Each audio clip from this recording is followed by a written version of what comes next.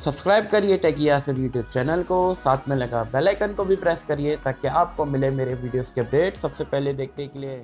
Hello guys welcome to tech YouTube channel. और guys अगर आपका बजट है 14 से 15,000 के बीच में और आप बहुत टाइम से यहाँ पर नोकिया एक्सिक्स का वेट कर कि भाई नोकिया एक्सिक्स इंडिया में लॉन्च होगा 14,000 15,000 16,000 की रेंज में तो मैं आपको बोलूँगा कि भाई वेट करना छोड़ दो दूसरा डिवाइस देख लो।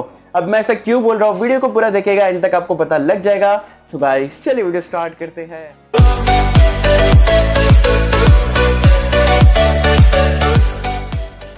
तो फ्रेंड्स वीडियो स्टार्ट करते हैं और guys finally Nokia X six China के बाहर पहली बार निकल चुका है। इसका ग्लोबल वेरिएंट आज लॉन्च हो गया है और नाम चेंज करके रखा गया है नोकिया 6.1 प्लस और मैं आपको यहाँ पर डिफरेंस बता देता हूँ कि भाई चाइना वाले नोकिया एक्सिक्स में और ग्लोबल नोकिया 6.1 प्लस में क्या फ़र्क है।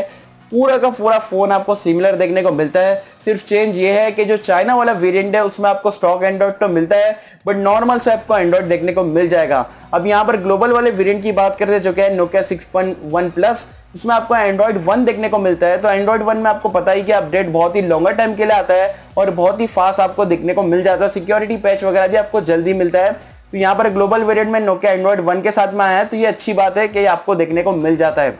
अब बुरी बात मैं आपको बता देता हूँ कि ये आपको एक ही वेरिएंट में देखने को मिलता है और आपको हाँ बता दूँ कि नोकिया जो 6.1 प्लस है और X6 है, सिर्फ़ एंड्रॉइड वन के अलावा कोई भी चेंज नहीं करा गया है। वही आपको फ्रंट और बैक में ग्लास मिलेगा स्नैपड्रैगन 636 है नॉच वाला डिस्प्ले है, तीन हज़ार साठ एमएच की बैटरी है, वही सेम टू सेम पूरा फ़ोन मिल जाएगा। स्पेसिफिकेशन आप सभी को पता है यार, दो से तीन महीने से आप वेट करो आप सभी को पता है क्या मिलता है नोकिया एक्स में। अब मैं बात कर लेता हूँ सबसे बुरी खबर की। तो ये एक ही वेरियंट में आपको चाइना में देखने को मिलता है। सिक्सटी फोर की स्टोरेज चार जीबी की रैम है और 291 डॉलर का वहाँ पर लॉन्च हुआ है।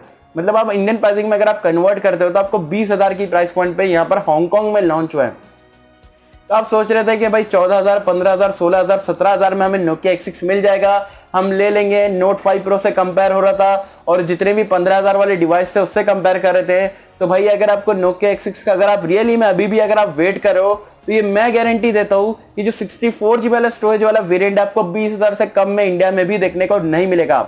अब इंडिया में कब लॉन्च होने वाला है, बहुत सारे लोग पूछते हैं। मैं आपको बता दूँ, यहाँ पर लीक्स है, यहाँ पर स्ट्रॉन्ग लीक्स है कि ये आपको अगस्त में इंडिया में देखने को मिलेगा, अगस्त के मिड या एंड में देखने को मिल जाएगा।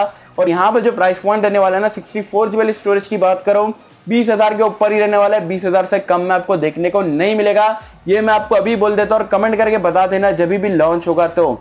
तो अभी भी अगर आप यहाँ पर सोच रहे हो कि भाई पंद्रह हज़ार में नोकिया एक्सिक्स आएगा तो भाई गलती कर रहे हो। अगर पंद्रह हज़ार का बजट है तो कोई और डिवाइस ले लो। और नोकिया एक्सिक्स के लिए आप बीस हज़ार एक्सपेंड सॉरी नोकिया एक्सिक्स के लिए अगर आप बीस हज़ार स्पेंड करना चाहते हो या आप कर सकते हो तो डेफिनेटली आप वेट कर सकते हो यहाँ पर। और अपने कमेंट सेक्शन में बताओ कि नोकिया अच्छा करा या नहीं करा, और नोकिया जो ग्लोबल मार्केट के लिए करा है और चाइना के लिए क्या करा है, ज़रूर बताना। नीचे मुझे कमेंट्स में आपके ओपिनियंस आई होप कि आपको वीडियो पसंद आई होगी, और गाइस अगर आपको वीडियो पसंद आए तो लाइक शेयर सब्सक्राइब करना मत भूलना। मिलता है आपसे अगले किसी वीडियो में। जब तक के लिए थैंक यू